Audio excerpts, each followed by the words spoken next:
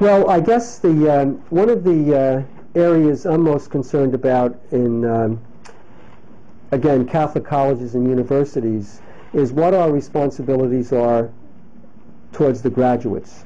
In other words, what do we expect our graduates to be like when they complete their education? And I don't mean uh, technological expertise or a, a knowledge base. I think that takes care of itself.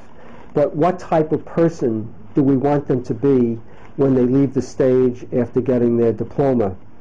Uh, to me, that's the, the greatest question facing the Catholic higher education community. Uh, and I, in a sense, I, ha- I have an answer to that. What I think we should be concerned about, uh, that they uh, take a leadership role within the church, and that they take a leadership role within society.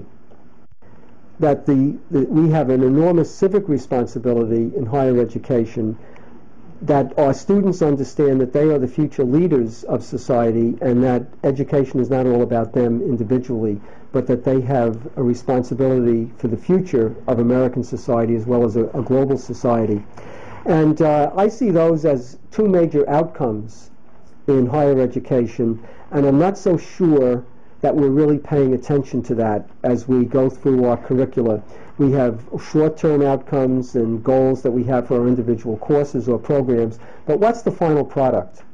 Uh, what do we want these students to be like? And I, I think we have to keep asking that question and come up with some much better answers than we have at the present time.